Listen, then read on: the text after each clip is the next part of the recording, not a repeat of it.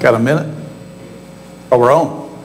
Oh, we're on. All right, well, welcome to Maranatha Baptist Church and to our Sunday school, uh, of course, in the auditorium, the uh, adult Sunday school class here, of course. But it's good to see those who are here present with us and those who are watching uh, live with us. That'd be good.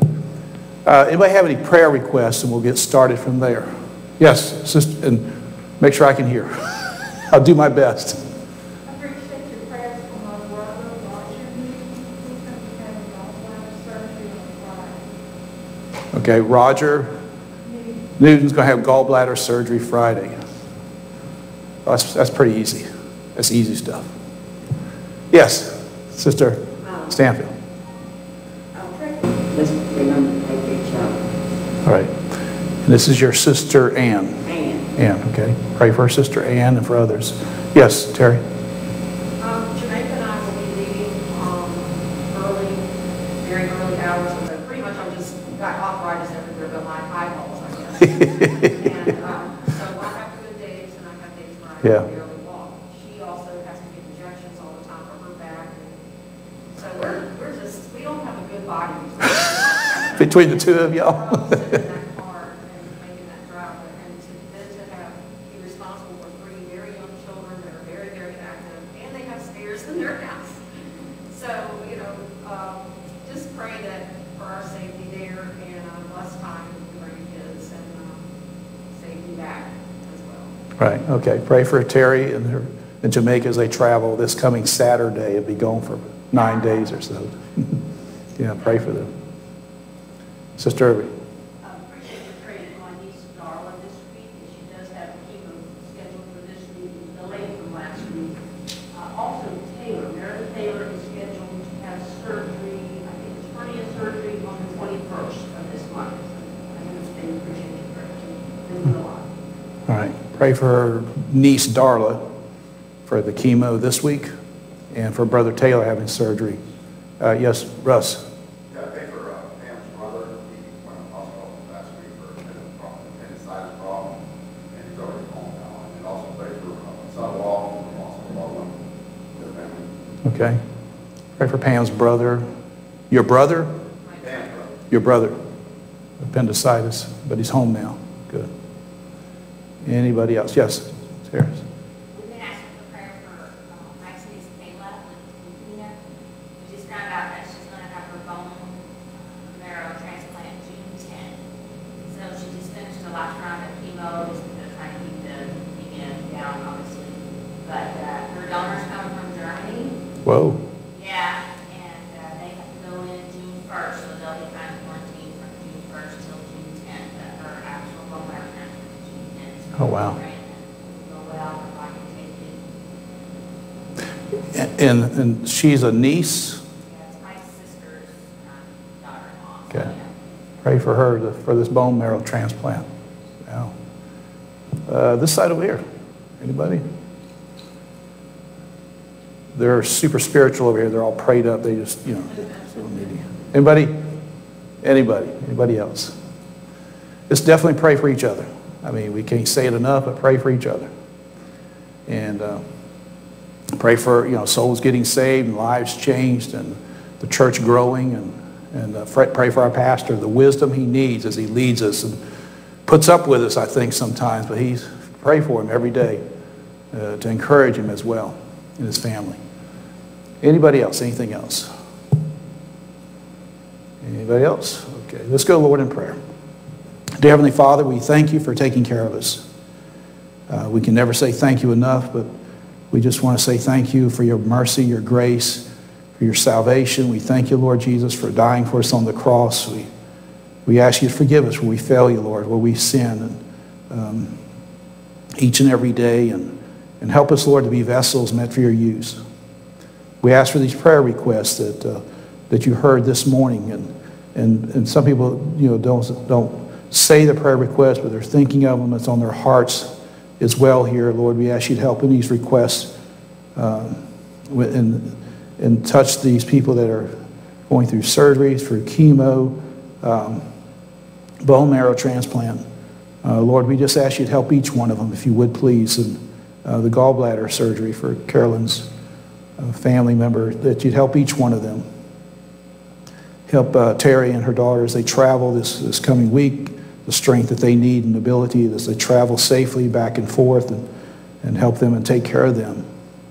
We ask you to help those and um, those are not able to be here, Lord, their, their health that they're dealing with. And we ask you to encourage them and help us as a church how to encourage each other, uh, how to be a blessing and encouragement one to another. Dear Father, we ask you to help Pastor the strength and the grace and the wisdom he needs as he, he leads us, Lord, and preaches this morning and just hugging beside you, Lord, the strength and encouragement that he needs.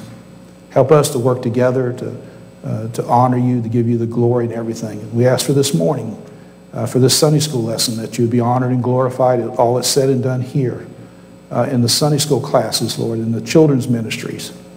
Uh, just guiding, directing about the bus ministry to start up some, sometime soon.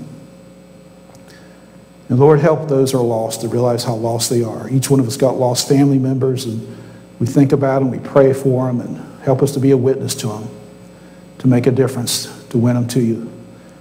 We just guide and direct our steps this morning. In Jesus' name we ask. Amen. A couple of things. We have our new series. We'll start Jonah in a couple of weeks. We're on lesson 11 in this series. So we got two more lessons here, lesson 12 and 13, of course. So we got new lessons after that is Jonah. So I got those up here. Of course, same as before, the rubber band holds all your lessons together. That's, all, that's what you need is a package together. So that'll be the lessons uh, Jonah up here. So if you want to pick those up after a Sunday school class, of course. So we're in lesson 11, and we're talking about consider Christ. There. Consider his, e, if I say it right, eternality. We don't normally say that word. Uh, it's a little awkward in a way to say it. This lesson is going to be a little different for you. And I know you got your little books out, your little books, and you're ready to fill in the blanks. Well, you're going to fill in the blanks, but it's going to be towards the end of this lesson. Because I address this lesson a little differently. Because turn to John chapter 8, because that's where it's at anyways. So turn to John chapter 8. As I read through this lesson this week, and I kept going through it and through it, there's, uh, just say, you know, I want to do this lesson a little differently based on John chapter 8. Because even though this lesson's on cha chapter 8, but it's on the latter part of the book, the latter part of the chapter, it does kind of go back into the early part of the chapter. So I want you to give the background to chapter 8 and the setting, but we're going to go through chapter 8, the entirety of it, because I'm going to show you about the eternality of our Lord and how he dealt with people through this. And hopefully we'll learn something that will help us as well, but to learn about him. You know, how gracious the Lord Jesus Christ has always been. And how he gracious he was even in dealing with those he had to deal with uh, through his. So what you're going to see this morning, and you're going to see this, the questions, the responses, and eventually the climax. And I'm going to go through this chapter for you, and you're going to see, as I was reading through this chapter, I kept noticing the questions that were posed to him. Now, that's not in your lesson book. You won't look, look through your little tablet, you won't, your sheets, you won't see any of this part here. But we'll touch on this and we'll get to the, and I'll let you fill in the blanks towards the end, because that'll be towards the end of this, those slides involving those parts. so, are y'all with me on this? How this is a little differently for you this morning. I don't want to be so fill in the blank regiment in a lesson. But as I was studying this lesson, I just thought there was something more to it than just that part of that. About seeing this chapter as a whole and how the Lord dealt with people and how he gets to the point when he explains to the very end, says, Before Abraham, I am. And the responses of those guys who were there, the Pharisees and the scribes and all those that were there, of course. Because he dealt with them through this chapter here. So we're going to see it as we go through, and hopefully you'll, you'll see it as I saw it. Maybe it'll help if I can explain as we go through. But, but you're going to see as we go through there, it'll be a, each uh, section will be a, a reference. It'll be the questions that they propose to him, or the challenge, as I call it, the challenge to him, and then our Savior's response to them. So hopefully we'll learn something that would help us here. So if you turn to John chapter 8, and if hopefully you're there, it says, John chapter 8, verse 1 says, Jesus went unto the Mount of Olives. And early in the morning he came into the temple, and all the people came unto him, and he sat down and taught them. So get the setting. He has now entered the temple. He's sitting down, and the people have come, and he's doing what? He's teaching them. And so in this challenge here, you're going to see a few things, and he's teaching them as we go through this. So the first one, John chapter 8, verses 3 through 11. And the scribes and Pharisees brought unto him a woman taken in adultery. And when they had set her in the midst, they say unto him, Master, this woman was taken in adultery in the very act. Now, Moses in the law commanded us that, that, that such should be stoned, but what sayest thou? The question is, what sayest thou? Okay? That, this they said, tempting him, that they might have to accuse him. But Jesus stooped down and with his finger wrote on the ground as though he heard them not. So when they continued asking him, he lifted up himself and said unto them, He that is without sin among you, let him cast a stone at her. And again he stooped down and wrote on the ground. Now picture this, and we'll finish this up in a second. But picture what you see in here. Jesus is, he's going to the temple to do what? To teach. Okay? And here the Pharisees have done what? What have these guys done? They've gone out and tried to catch some woman doing something wrong, adulter- being adulterous, of course, in the very act.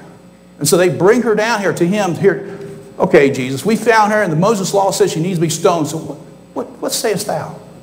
You're such a great teacher. You tell us what should be done.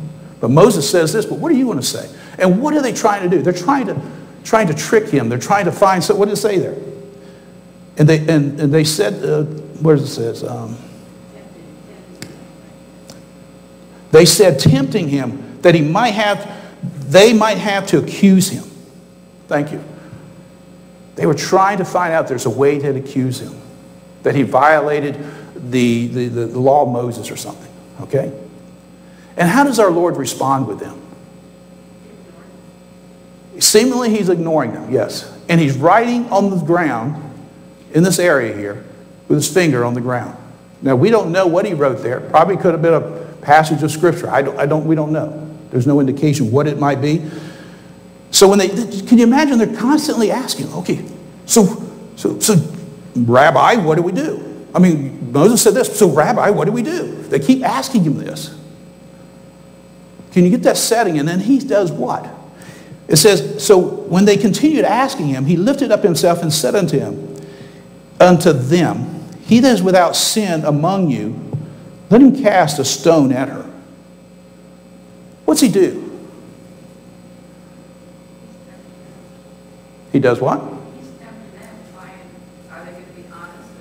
He's not tempting them, but he's putting it back onto them in a way, you know? For them to think about themselves. And you're going to see this as he goes through this chapter 8, how he puts it back towards them as we go through this. And it says, and again, he stooped down and wrote on the ground. And they which heard it, being convicted by their own conscience, went out one by one, beginning at this, the eldest, even unto the last. And Jesus was left alone, and the woman standing in the midst. When Jesus had lifted up himself and saw none but the woman, he saith unto her, Woman, where are those thine accusers? Hath no man condemned thee? Now, the Lord already knew that. I mean, he's just asking the question, proposing it, putting it out there. But he, and she said, she said, no man, Lord. And Jesus said there, neither do I condemn thee. Go and sin no more. So this passage here, this, this is the question that they posed to him was what? What sayest thou? And it's interesting they come to him knowing that he's in the temple doing what? He's teaching. So they're, they're trying to find a way to trick him trying every which way they can because they want to get rid of him. Okay? And how does he respond to them? Isn't he kind of gracious in how he responds to them? I mean, he's gracious, but he's direct to them. Which one of you have, without sin, that you cast the first stone? And they all start thinking, well, you know, I know I got sin. And they start kind of drifting away, you know, these guys. Okay? So the next situation verses 12 through 18. Then spake Jesus again unto them, saying, I am the light of the world. He that followeth me shall not walk in darkness, but shall have the light of life. Now, interesting what he's saying here. We're so familiar with our Lord Jesus Christ. We're so familiar with what he said. We're so familiar with these passages. But to think about in that time when he says this to them, for the light to click on in their little brains, when he says what? That he is the light of the world. You see what I'm saying? We're, we're so accustomed. Okay, I've heard it. Yeah, Jesus light of the world. Okay, I know that. But for him to say that at that time, and then for them to, their little brains to start thinking about this, because he's, the Pharisees, it says, and the Pharisees therefore said unto him, Thou bearest record of thyself, thy record is not true. And then that their challenge, uh, where it says, Thou bearest record of thyself, that's their challenge to him. You're saying that about yourself, Rabbi. You're saying about that, you're bearing this record about yourself. And what goes, it goes on down here. And Jesus answered and said unto them, Though I bear record of myself, yet my record is true. For I know whence I came and whither I go. But ye cannot tell whence I come and whither I go. You judge after the flesh. I judge no man. And yet I, if I judge, my judgment is true, for I am not alone, but I and the Father have sent me. It is, it is also written in your law that the testimony of two men is true. I am one that bear witness of myself, and the Father that sent me beareth witness of me. Interesting. What did he say to them? Anybody? This is Sunday morning. Get, get the wheels a little rolling up a little here. Get the wheels rolling. What does he present to them?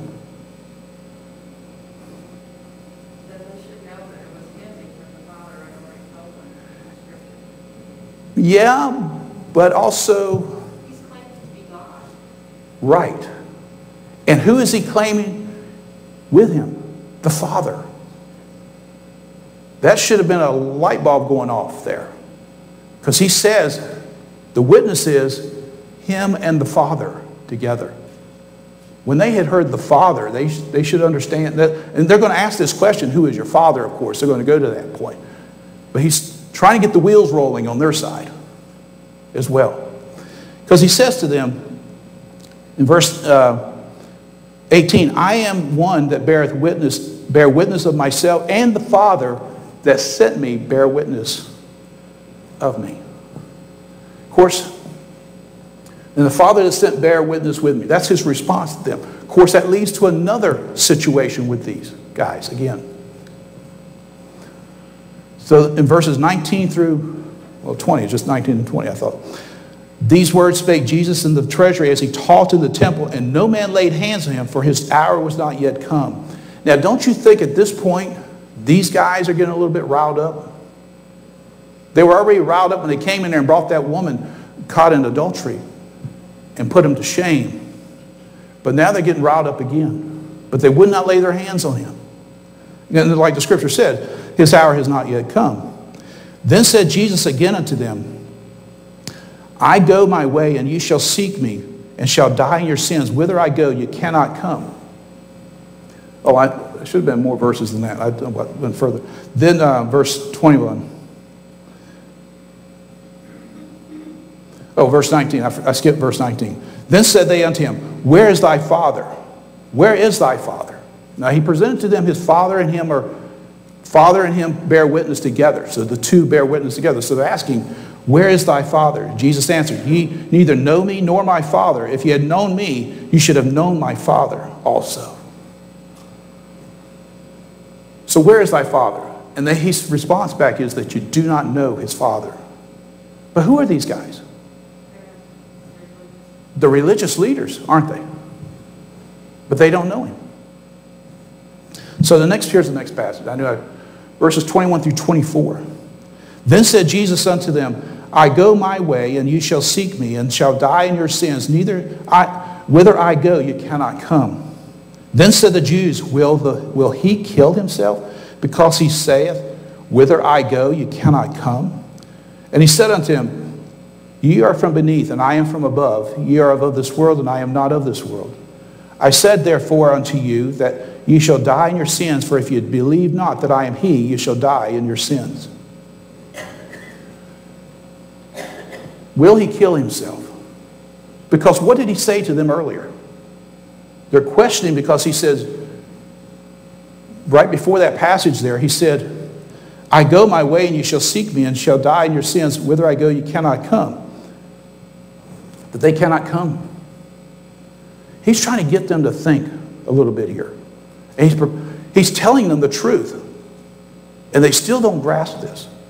And so they're in their little minds, they're thinking, well, he's going to kill himself. He kills himself, we can't go where he's going. I mean, those people kill themselves, they go down to Hades. I mean, they're automatically that's where they go at. That's their mindset about him. That's what they're thinking here.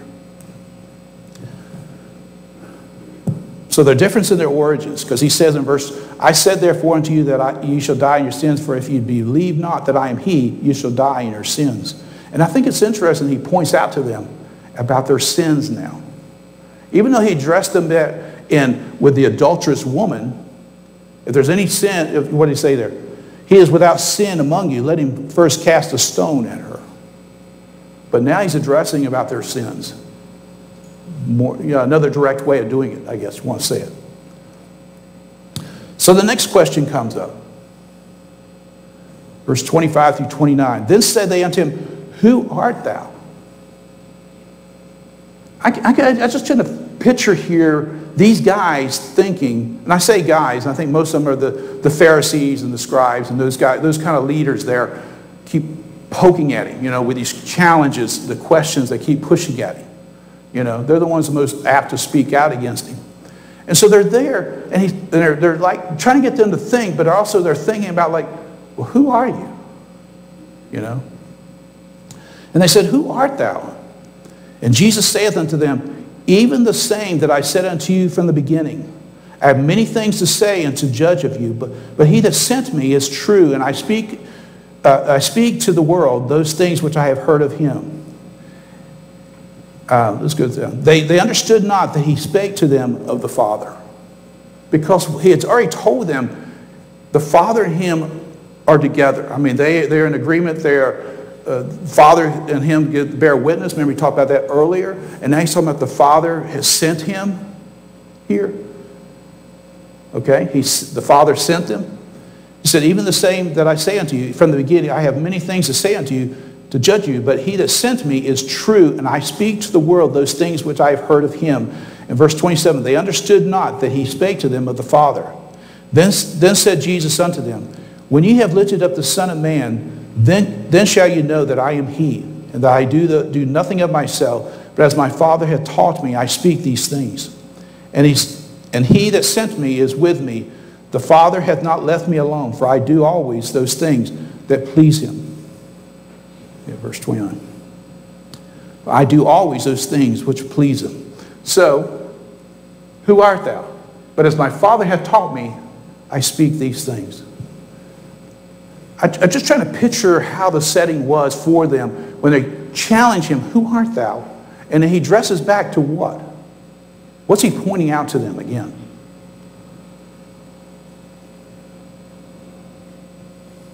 What is he pointing out to them? About him and the Father. The Father has sent me. And they question, well, who is your Father? Right? And so he's talking about the Father, which he's talking about God, and they don't, they don't know who he is. And it goes on further on as we go through this. You'll see this comes out more.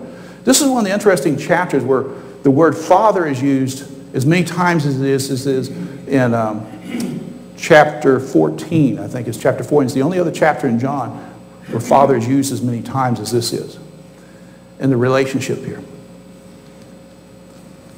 I got my notes over here. I don't know why I didn't turn them.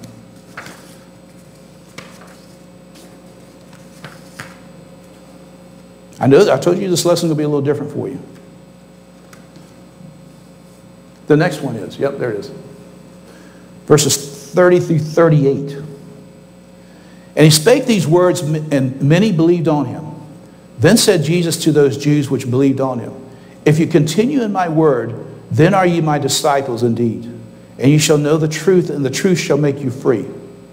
Then answered him, they answered him, We be Abraham's seed, and were never in bondage to any man. How sayest thou, you shall be made free?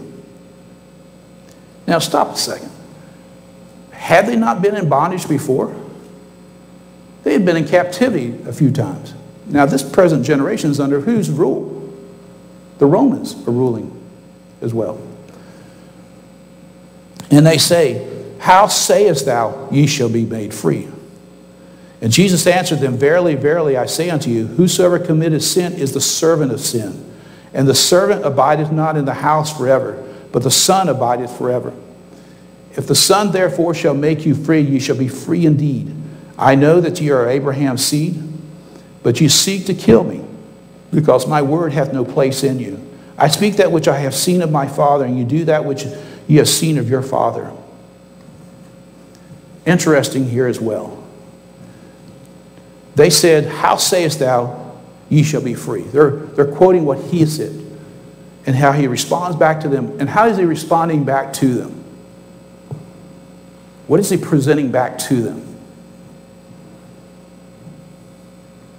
I know I ask a lot of questions. Y'all say, why is Jon McBride having to do this on a Sunday morning?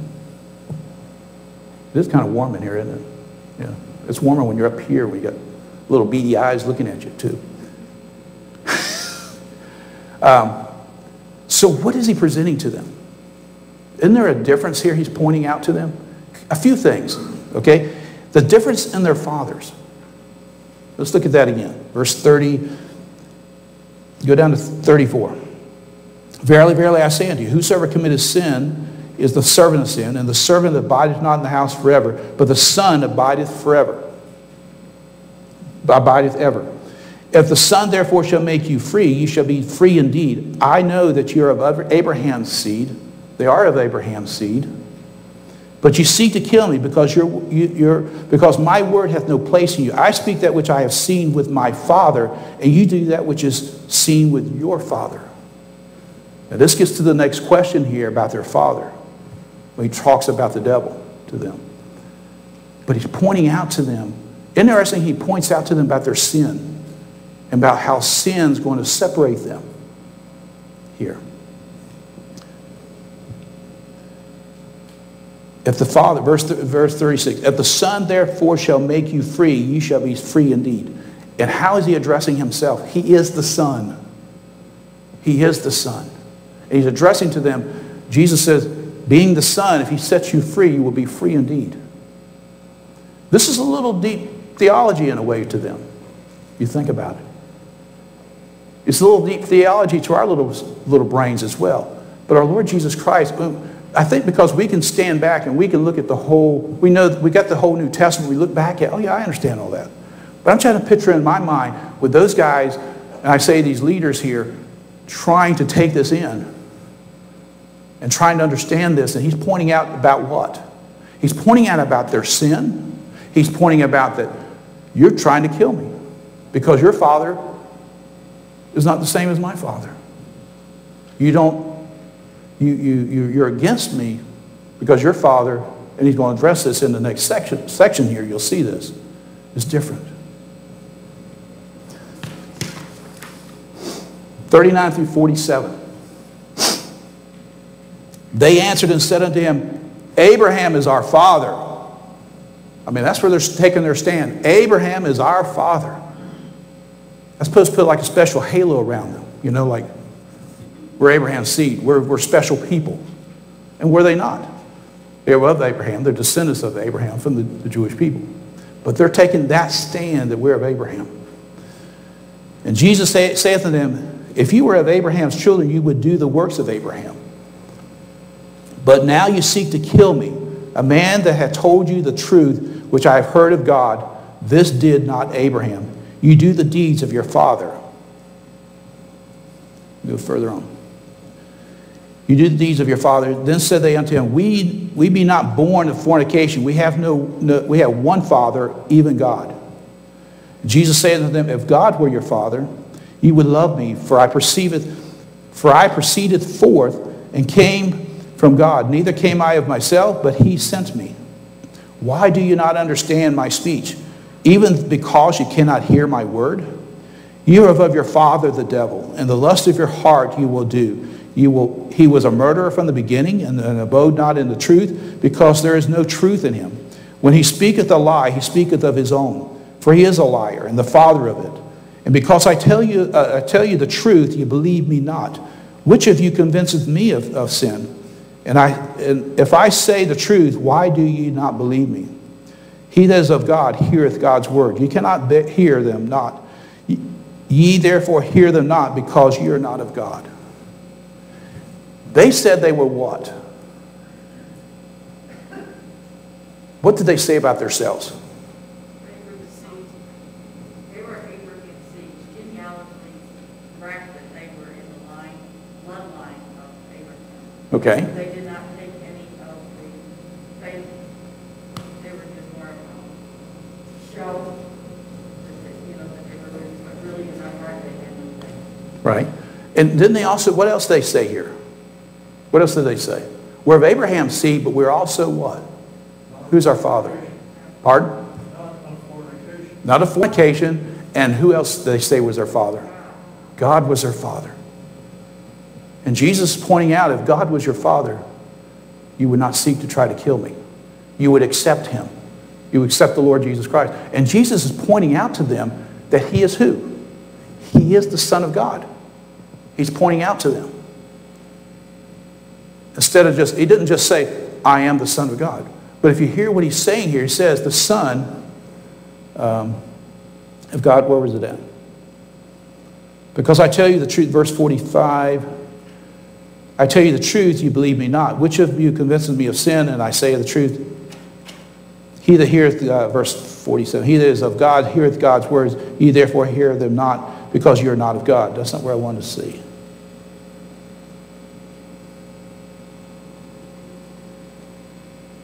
Let's go back to verse 42. If God were your father, you should love me, for I proceeded forth and came from God. Neither came I of myself, but he sent me. Talking about the Father sent him. And then he's already addressed to them earlier about, who, about the Father. And now he's addressing again, the Father's the one who sent him. He is the Son of God. There's a lot going on in our little brains with all of this. And these are supposed to be religious leaders, you know, who have some insight about scriptures and all that, but they're still struggling with this. But he, what is he doing? He's laying it out to them. He's putting it out to them about this. And that if God was your father, you would love him. You would listen to him. You would hear the things he had to say.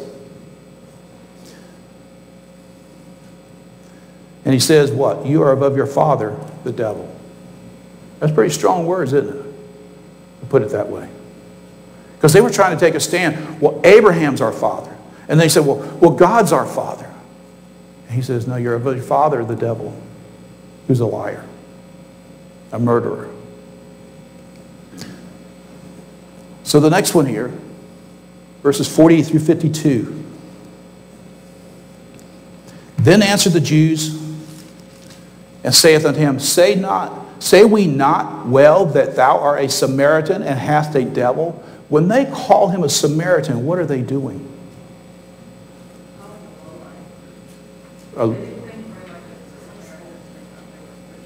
That's right. Because Samaritans were what? What were the Samaritan people? They were half-breeds, weren't they? Part Jew and part Gentiles. That's what they were. So you're, you're a Samaritan. So what are they getting to? What are they doing? I mean, what is the defense that some people get into? Name calling. Try to put them, trying to put him down. You're, you're a Samaritan or uh, that has a devil. They are really riled up now by this point because he's already told them that their father is the devil, hadn't he? And they're getting really riled up. And he goes on and says, And Jesus answered, I have not, I have not a devil, but I honor my Father, and ye do dishonor me. And I seek not my own glory. There is none that seeketh and judgeth. There's one that seeketh and judges. Verily, verily, I say unto you, if a man keep my saying, he shall never see death. What did he say? I have, I have not a devil, but I honor my Father, and you dishonor me. They're getting to this, they're really getting riled up, these guys. Getting upset. So the next one is, we got, I think we have two more here. Verses 80, verse 53, verse and 56. Art thou greater than our father Abraham, which is dead, and the prophets are dead? Whom makest thou thyself? Now, of course, they're going back to Abraham's our father. I mean, that's where they're going back to. It. They're going to go take that stand again. And Jesus answered, If I honor myself, if I honor myself, my honor is nothing. It is my Father that honoreth me, of whom ye say that, you are, that he is your God. Boy, doesn't that put that together for him? Did you see that? He says what? The same one. What did he say there? If I honor myself, my honor is nothing. It is my Father that honoreth me, of whom you say that he is your God. Remember, they said that earlier. They said, We have only one Father, and that's God. Okay? He's pointing out to them that he is of God. The Lord Jesus Christ is of God, the Son of God. If ye had not known him, if, if yet ye have not known him, yet ye have not known him, but I know him. And I, if I say, if, if I, and if I should say I know him not, I shall be a liar like unto you. But I know him and keep his saying. Your father Abraham rejoiced to see my day, and he saw it and was glad. Can you imagine hearing those words? Them guys hearing those words right there. Your father Abraham rejoiced to see my day, and he was glad. Verse uh, was it 53? Art thou greater? That was their challenge. Whom makest thou thyself? And your father, and for his response was, Your father Abraham, your father Abraham rejoiced to see my day. I think it's interesting how he addresses them very graciously, but very directly, with gracious and kindness, but also direct to the point to get their attention about their sins. And they're doing what? They're getting riled up. And all the time he's pointing out to them, we're going to get to the last section here in a second. All the time he's pointing out to them what? About their sins, yes, but also about what? The climax we're going to get to in the next passage here. That him and the Father are one, pointing that out to them. And that they are one, they, him and the Father are one, and you guys are not of this. So let's get to the last one here. Verses 57 through 59. Then said the Jews unto him, Thou art not yet 50 years old, and hast thou seen Abraham? Jesus saith unto them, Verily, verily, I say unto you, before Abraham was, I am. And what does that mean when he says, I am? That he was God. And what does the next passage say here? They all shouted, rejoiced in him, and great, this is fantastic, we now found him. That's not what they were doing, were it? The next passage says, Then they took up stones to cast at him. Their anger had risen so much, they were trying to get rid of him. They wanted to get rid of him anyways. But all through this chapter 8, did you see it progress through? Hopefully you saw it progressing through this the events, the questions they, they presented to him, and how he responded to them. And he brings the climax to this that he is God. They didn't catch on earlier when he said that him and the Father are one. He tried to present that to them. They weren't catching on to that. So finally, he gives it to them that he is. He is before Abraham. Abraham saw his day, and they said, Well, you're not even 50 years old. How, can you, how do you know Abraham? And they said, and how, hast thou seen Abraham? And, they, and Jesus said unto them, Verily, verily, I say to you, before Abraham was, I am. And when they heard that, that riled them up to the to extreme, to the climax of their hatred, but the climax is talking about the preexistence of Christ, that he is God to them. So hopefully you learned something in this lesson, how I pointed out a different way for you instead of how the, I'll, I'll, get you to the bullets here in a second, oh, so you can fill in your blanks, so you get your pens ready, so you can fill in the blanks here in a second. But do you see this, how it, this whole chapter about the questions, the questions from these, the challenges from these people to him, and how he addressed them? He could have said from the very beginning, I'm Jesus Christ, I'm the Son of God, and that's the way it is. But as he worked through this with them, answering, and graciously, I think graciously in his way, answering their challenges, you know, as he did this with them. You know. Some of us, how would we challenge, when we were, if we're challenged, how do we handle the challenge of sometimes? We're challenged and somebody's questioning us, what do we do? This is the way it is, and I'm not talking about it no more. But he was trying to get them to understand their condition, that they were sinners. You know, they should have got the hint at the very beginning with the adulterous woman. You know, they kind of faded away back, but then they came back again and challenged him again. But he's trying to get their attention that, hey, you're sinners. And you don't, no matter how religious, how much you think you are, you're not of God. Any questions, any comments? All right, I'm going through the slides here. I'll try to go slowly so you can fill in your blanks. So, I, like I said, you're going to see this and you're going to say, Jon, you didn't even follow the lesson plan. I know I didn't. Totally didn't. To honor the Heavenly Father. And the past, this lesson took, like I said, it went back and forth, and I wanted to go from, I wanted you to see the background of chapter 8 and follow it through. To me, it, it made more sense to follow chapter 8 that way for me, okay? If I go too fast, hey, you say, whoa, whoa, whoa, slow it down. Okay, the promise of the Savior, a conditional promise, an eternal promise, the pre-existence, pre-existence of, of the Savior. Jesus is equal with the Father. And I want you to see that as we went through the lesson, you should have seen that as he's addressing that with them. Not just this passage, but he was addressing that with them as well. And Jesus is eternal with the, with the Father. Everybody get all their... That's the last part.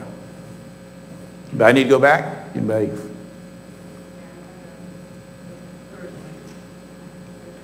Well, we'll go, there's the beginning. There you are.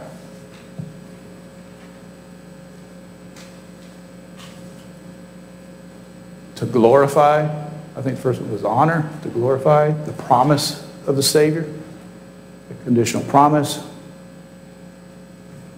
eternal promise, pre-existence, equal, eternal.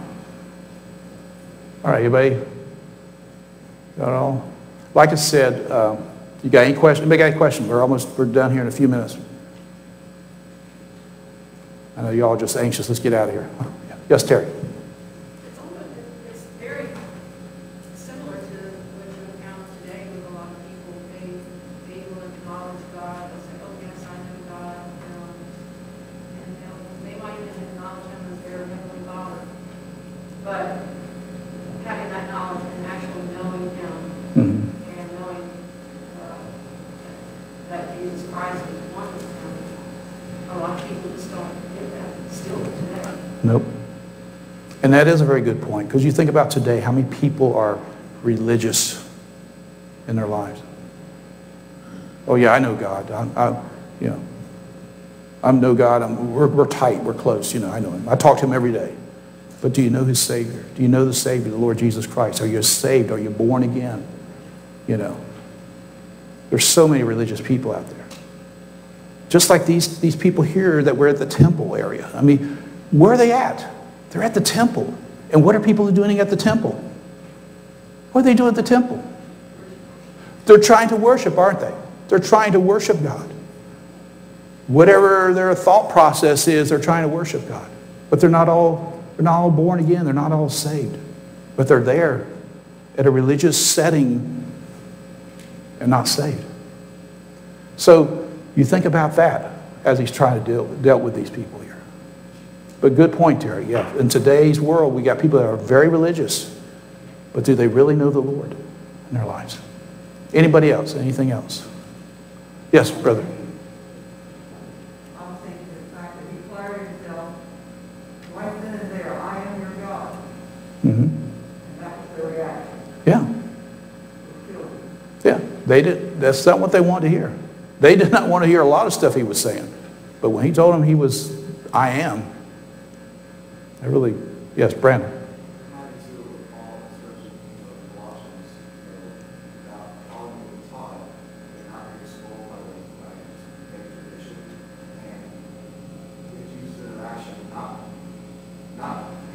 stopping the crazy terminology, because the terminology can be the same, the definition can be very different. Mhm. And so being able to define the biblical terminology, the Bible, as opposed to religious teaching, is so important that people might say these same things, and not sound similar, but it doesn't mean the same. Right. Good point. Good point. Because people are so stuck in tradition you know, in the thought process there. But yes, you got to make sure when somebody says, I believe in God, you might have to dig in a little bit deeper on that to understand where, they, where they're coming from, you know, their thought. Anybody else? Anything else? That's right. Yep, even the devil believes. Anybody else? Anything else? All right, before we uh, pray, uh, get dismissed, remember the series on Jonah is up here. Uh, of course, we got lessons 12 and 13, so it'll be in about three weeks. We'll start the book of Jonah for you there. All right, let's go, Lord, in prayer, and we'll do this. this. Uh, dear Heavenly Father, dear Lord, thank you for your, for your grace. Thank you for uh, going through the Sunday school lesson a little differently, but that maybe it would help us understand your word better and, and to um, and, and, and the fumbling ways of trying to present your word and try to explain and, and to see and to show. And, but Lord, that you be honored and glorified because that's what counts is that you are always honored and glorified. Uh, help us, Lord, how to learn from your word and, and to, to draw closer to you, to be a, a witness to people we deal with. And uh, how, to be, how to share the gospel with some, pe- some others that we meet. We meet in stores, we meet in wherever we're at. Lord, even with all this, we'll keep dealing with this, this um, COVID situation, Lord, but help us how to be a witness of testimony to people. And guide and direct, Lord, this morning, help our pastor the strength and the grace and the wisdom he needs. Hug him beside you, Lord, and take care of him. And, and help us, Lord, how to, uh, to worship together, to come into your house to worship, uh, to be together in your house and worshiping together. Help those working with the children, the wisdom they need and how uh, to reach the children there in the children's church ministries. And just guide and direct throughout the day in our lives. In Jesus' name we ask, amen.